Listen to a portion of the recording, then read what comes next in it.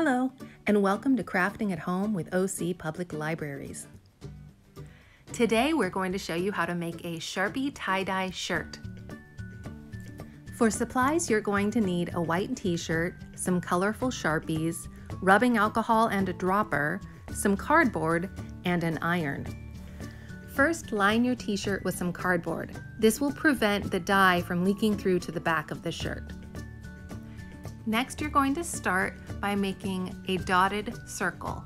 I'm using five dots to make a circle here and I'm trying to get as much of the Sharpie ink onto the t-shirt as I can. Next, use a different color to make a second circle outside the first one. Place these five dots in between the first five dots. And that will lead to a cool effect once the dye starts to spread. Next, use your dropper to drop rubbing alcohol into the center of your circles.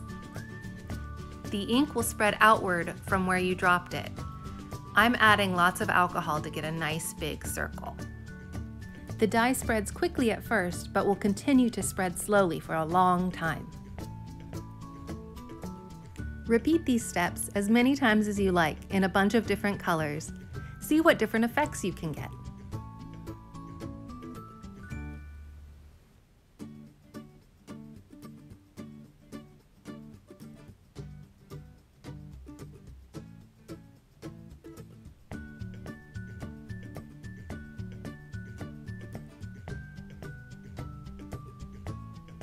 Let your shirt dry completely and then iron it to set the dye.